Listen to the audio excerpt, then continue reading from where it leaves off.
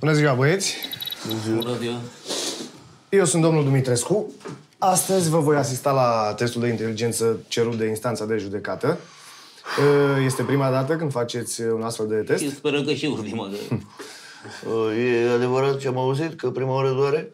Nu doare, dar rezultatul poate fi dureros. Am aici câte un uh, test pentru fiecare. Timpul de rezolvare, 60 de minute. 60 de minute? Da. Consecutive? Uh, Eu vă las acum, am puțină treabă. O să revin mai Rămânem târziu. singuri aici așa? Uh, Da, dar să nu vă treacă prin cap să copiați, pentru că acolo e o cameră de luat vederi.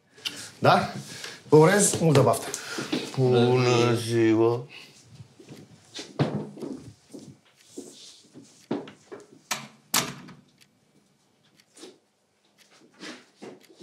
Ce dracu hierogliful? Vor, vor, vor. Acoperă-ți gura dacă vorbești, că filmează camera e imbecil. Oh. Ce dracu hieroglifele astea? mă? Hai, mă, lasă-le că le face de le morților. Hai, prima întrebare.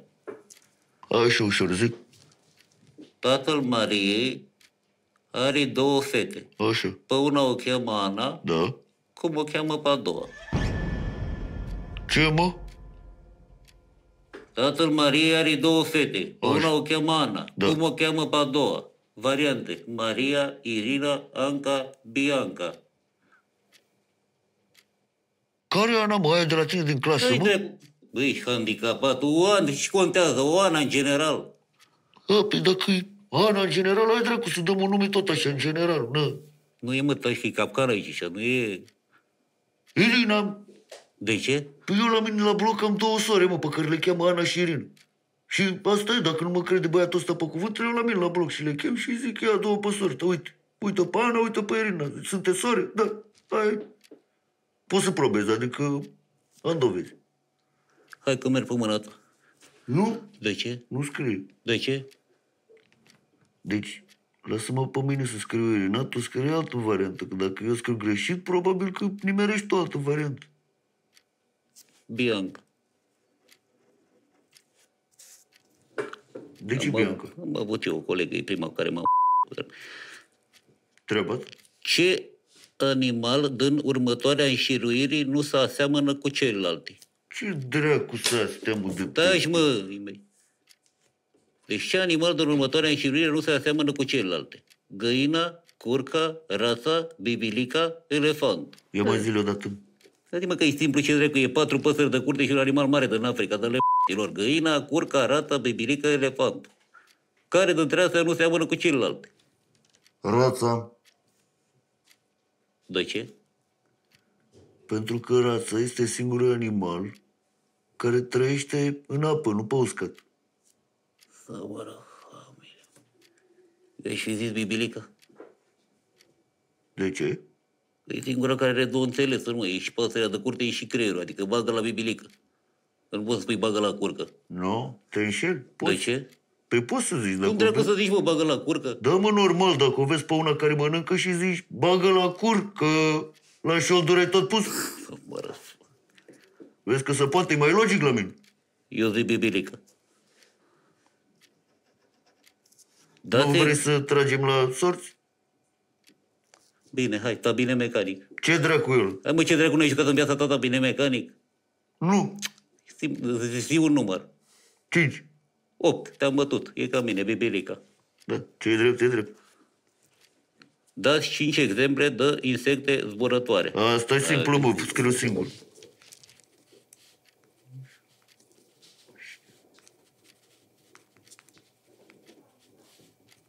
Așa. A, 4. E aici e băierie. Dați exemple de 5 orașe care încep cu litera C. Uh, Constanța, Constanța, adevărat? uh, Uh, Chicago, nu că Chicago e cu și, uh, uh, Cernavodă mai aia de, dacă mergi la mare treci pe lângă ea, Cernavodă, Cernavodă. Cluj, e Antoldu, Cluj. Hai că ne mai rămas trei. Unde dracu, mă, imbecilele, nu le vezi, bă, mai e două. Ah, uh, uh, scrie așa. Cetatea Suceavei. Da, dracu, mă, că o să ceva cu să imbecilule. Bă, da, dar cetatea e cu cât? De-aia am pus cetatea în față. Cetatea Suceavei, scrie acolo. Corect. Auzi, bă, Rovic? Trebuie să fie numai orașe din România. Nu, nu zici, nu. Scrie capitala Spaniei. Nu se poate, mă, handicapatule capitala. Bă. De ce, mă, să nu Că se nu poți poate? să spui așa cu capitala, nu știu care, Păi, dar așa, nu păi e așa oraș. spune, băi, dă- taci dracu de gură, băceule. Nu poți să scrii capitala Spaniei, trebuie să scrii direct Lisabona și Lisabona e Bă, cu nu mă L interesează, eu handicapat. scriu că nu la spațiu gol. Mai bine scriu așa. Asta e tură, lasă așa, lasă-o pe cincea degeaba. Nu scrii, bă. Aoleu, gata, știu. E, ce dracu, bă, e și echipă în divizia. Uh, uh, zi orașul, morți. Concordia. Ironie, autoironie, patetism găsim în opera lirică a poetului Vasile Carlova. Ăsta e, ăsta e, Vasile Cărlova. Domnule. Păi, sunteți gata? Eu dă mult, el... Da, cum v-ați descurcat? Încerc să fiu modest. Am, am fost de testul ăsta ca deșertul din Afganistan. Cum adică, mare? Prinde capcane. Aha, ok. Păi uh, o să analizez testele împreună cu colegii mei și mâine o să trimitem rezultatele avocaților.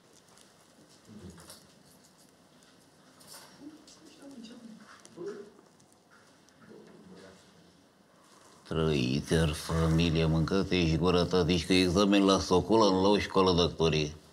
Păi, bă, mâncați aici gura ta. Hai să dăm examen la amândouă, mă, și vedem la care dracu ne primește. Stai și dracu că ești dobitor, te aude oamenii ăștia zice că ești prostul proștilor, nu că s-ar înșela. Stai. În loc să te bage la actorie, te bagă la asistente TV. Ia, ce zici? Stai așa, să vedem la ce emisiune mă bagă și după aia vă ce zic. Nu, asta handicapatule, la examen, ce zici, ce ai pregătit? Ah, o poezie.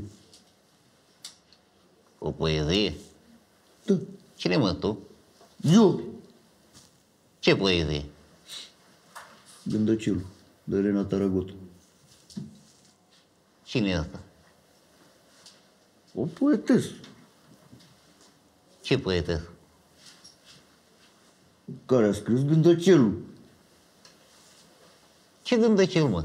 De Elena Taragot. Și-o știi? Păi, personal nu știu să moară mama, că n-am fost acasă la femeie. După ca să Elena Taragot, handicapatule. Poezia o știi? Da, de seară numai asta am făcut, să moară mama. Ia, zi și mie. Nu pot să zic mâncați aici gura ta, că am combinat cu mișcare, înțelegi? Și nu pot să o zic așa că nu vin, doar dacă fac cu mișcare.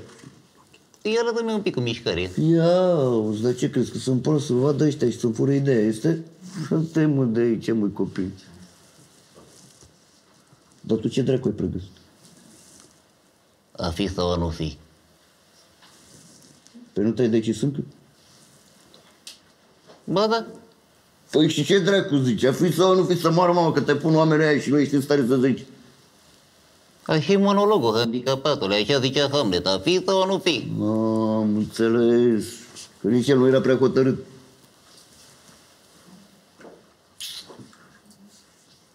Păi, dar tu ce trecu ai, mă, în bagajul să zici?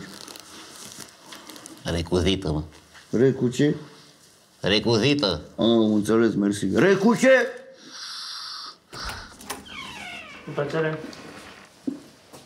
Cine e următorul? Bă, noi. Trebuie să intrați pe rând. Păi da, intră el primul și după aia intru și eu. O dată cu el. Sunteți împreună. Da. Felicitări. Un cuplu drăguț. Nu, nu, nu, bă, nu, nu împreună în sensul că ne... Am venit împreună la examen. A, e doar o aventură. Am înțeles, treaba voastră, voi știți. Hai. A, deci uh, el o ia în față și intru și eu în spatele lui. Hai, din mă, să trăit. Să trăit. Bună ziua!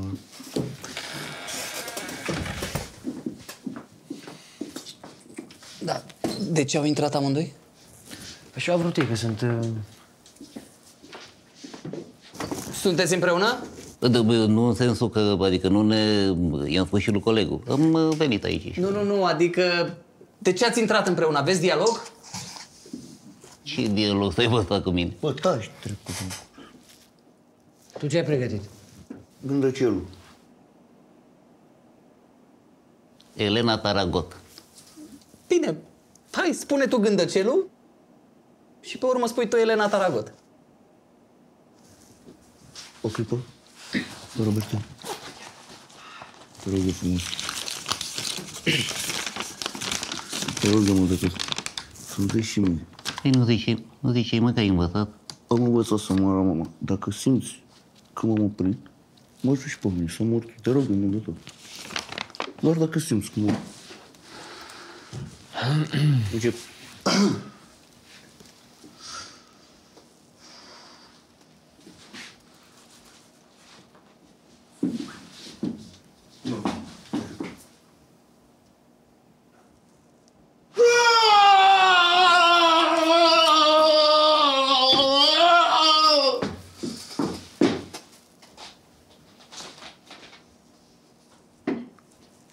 De, de ce m-ai prins în pumnul tău? De ce? M-ai prins în pumnul tău! Copil frumos, tu nu știi oare? Copil frumos! Nu știi tu oare? Tu nu știi oare? Hai acum luăm astea primele două versuri, da? Primele versuri și spune-le ca și cum ai fi mai calm. Ca și cum aș fi calm, da? Da. Să se așa?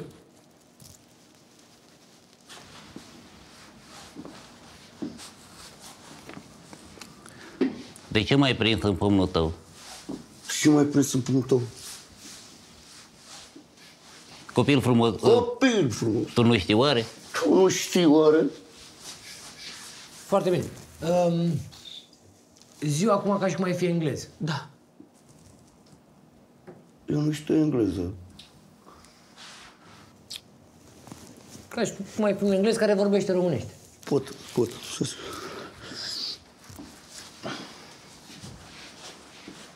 De ce mă strângi la pumnul tău, copil frumos? Nu știi tu oare? Uh, bine, uh, hai să vedem acum ca și cum ai fi prost. Malone, fii tu.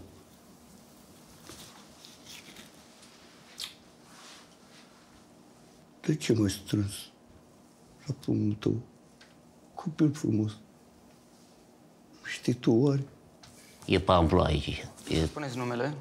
Amândoi? Cine-i primul? Dumneata, eu nu fac testul. Dar de ce? Ți-e frică de ceva? Ai ceva de ascuns? Numele, domnișoară. Felagina! Vârsta? Mai aveți multe întrebări? Am obosit. Abia am început. Domnișoară, acestea sunt niște întrebări test pentru reglarea poligrafului. Da? Vă rog frumos, spuneți-mi vârstă. Dar nu se întreabă o femeie așa ceva. Altă întrebare. 32. Tu ai spus că nu faci testul. Și oricum cred că minți. Ai pe puțin 45. Am răspuns în locul tău. Da, dar ea trebuie să răspundă. Vârsta, domnișoară. 21. Aici îmi indică faptul că mințiți. Vă spun cu toată sinceritatea, nu sunt vreo falsă, 22! Tot la fel îmi arată. Dar n-am eu nicio vină, ce treabă am eu? 23, gata! Mai mult nu-mi dau! Domnișoară, mi arată în continuare că mințiți. Înseamnă că e stricat! Pune mâna și repară-l! Ia uite! Și ce? De unde știe aparatul ăsta ce vârstă am eu? E prima oară că mă vede! Joacă-o pe asta!